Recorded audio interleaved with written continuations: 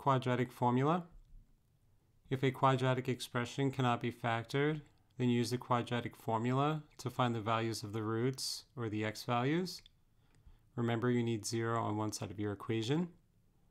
So let's say you're asked to solve for x, for x squared plus 6x plus 25 is equal to 0.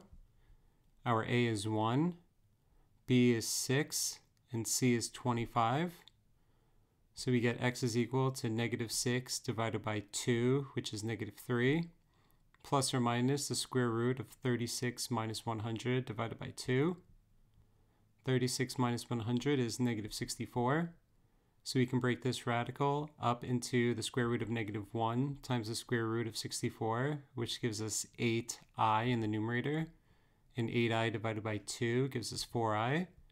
So we find x is equal to negative 3 plus or minus 4i.